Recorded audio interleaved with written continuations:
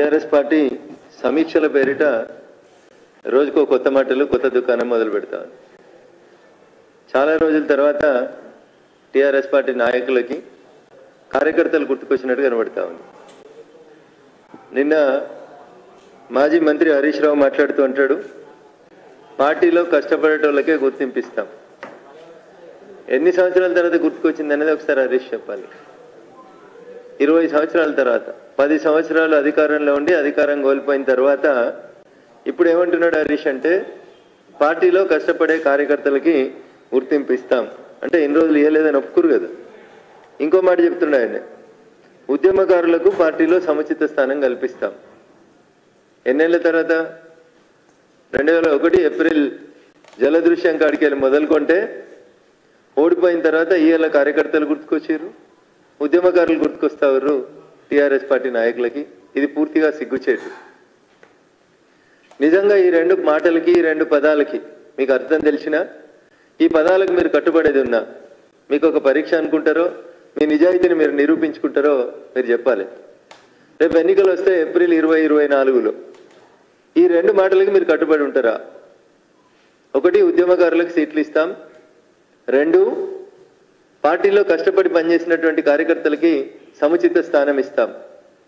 ఈ రెండు మాటలకి మీరు కట్టుబడి మీ నీతిని మీ నిజాయితీని నిరూపించుకోవాలని చెప్పి నేను ఈ సందర్భంగా విజ్ఞప్తి చేస్తా ఉన్నా.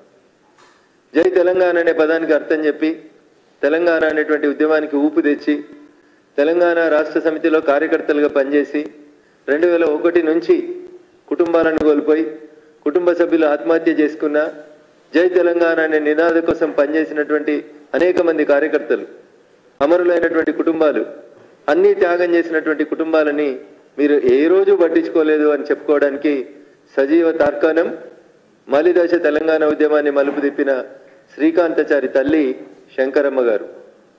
శంకరమ్మ గారి ఇంటికి పోయి మనమని బర్త్డే ఉందంటే బావ బామ్మర్దులు ఇద్దరు కలిసి భోజనం చేసుడు కాదు. కనీసం మీకు మానవత్వం ఉంటే మీరు మనుషులైతే నిన్న మీరు మాట్లాడినటువంటి రెండు పదాలకు మీకు అర్థం తెలిస్తే ఏది? కష్టపడ్డ వారికే పార్టీలో గుర్తింపు ఇస్తాం ఉద్యమకారులకు పార్టీలో సముచిత స్థానం ఇస్తాం.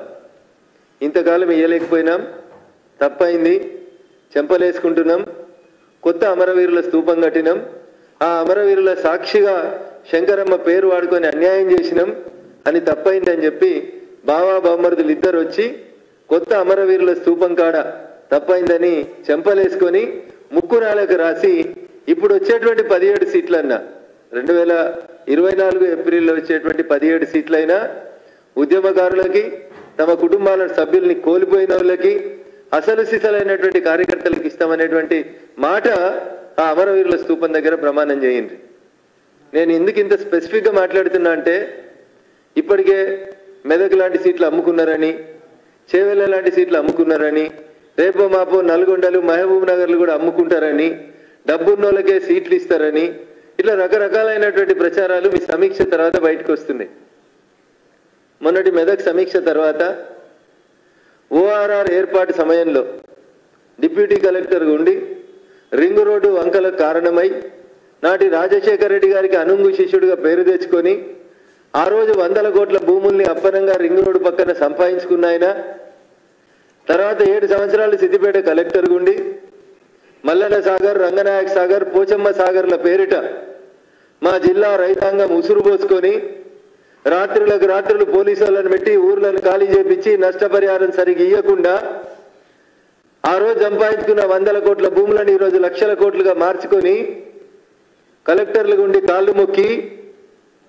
ఎమ్మెల్సీలు తెచ్చుకున్న వాళ్ళకి మళ్ళీ వందల కోట్లకి మెదక్ ఎంపీ సీటు భారం పెట్టుకున్నారని కార్యకర్తలంతా గుసగుసలాడుతున్నారు. లేదు లేదు మేము అట్లా ఇయ్యం. నిజంగా నిజాయితీగా ఉంటాం. ఒక కార్యకర్తకి ఇస్తాం. రెండు వేల ఒకటి నుంచి పనిచేసిన వాళ్ళకి ఇస్తాం. ఎవరైతే కుటుంబాలు అమరులను త్యాగం చేసిందో ఆ కుటుంబాలకు ఇస్తాం. అని చెప్పే దమ్ము ధైర్యం మీకుందా? లేదు. ఎందుకంటే మీరు గెలిచేది లేదు సచ్చేది లేదు. వచ్చిన కాడికి దండుకుందాం. ఎన్ని వీలైతే అన్ని అమ్ముకుందాం.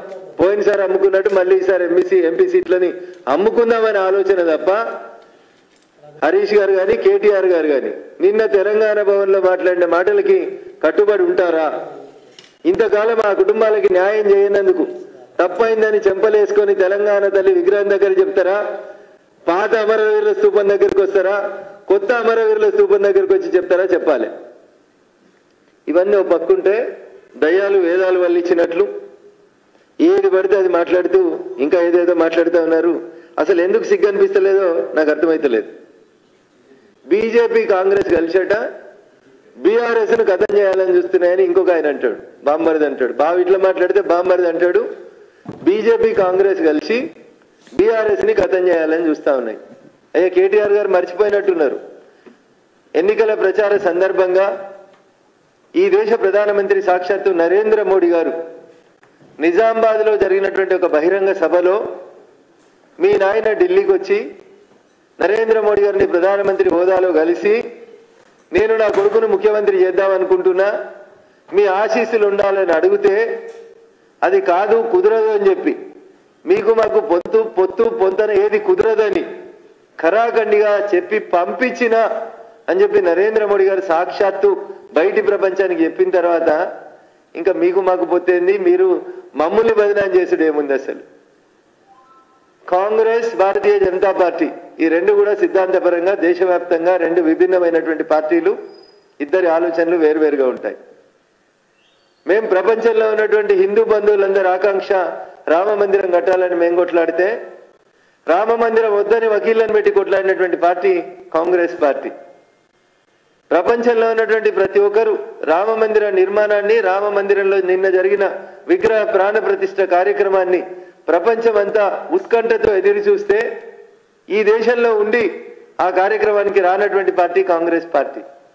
గా కాంగ్రెస్ బీజేపీ రెండు కలిసేట బీఆర్ఎస్ని కథం చేస్తాయట అన్న వ్యక్తులు అనుకుంటే పార్టీలు గతం కావన్న. అసెంబ్లీ ఎన్నికలలో మిమ్మల్ని కథం చేయాలని తెలంగాణ ప్రజలు అనుకున్నారు. మిమ్మల్ని కథం చేసిర్రు మీ నాయన రవీంద్ర భారతిలో ఏదో పేపర్లను టీవీలని ఐదు కిలోమీటర్ల లోపల బొంద పెడతామని చెప్పింది కదా. అట్లా తెలంగాణ సమాజం మిమ్మల్ని అసెంబ్లీ ఎన్నికలలో బొందబెట్టింది రేపు పార్లమెంట్ ఎన్నికలలో మళ్ళీ చెప్తున్నా. ఈ will be a big zero మీరు ఎవరితో పొత్తు పెట్టుకుందామని ప్రయత్నం చేసినా మీకోసం ఎవరు తలుపులు తీయరు. భారతీయ జనతా పార్టీ పొరపాటున కూడా మీ ఛాయల్ని దగ్గరికి రానియదు భారతీయ జనతా పార్టీ ఒంటరిగా పోటీ చేస్తుంది. భారతదేశంలో తన ఎన్డీఏ భాగస్వామ్య పక్షాలను కలుపుకొని మొత్తం స్థానాలకి పోటీ చేస్తుంది తప్ప మిమ్మల్ని గతం చేసేందుకు ఇంకెవరితోటో పరోక్షంగా మేము చేతులు కలుపుతామనేటువంటి మీ ఆలోచన కుత్సితమైనటువంటి ఆలోచన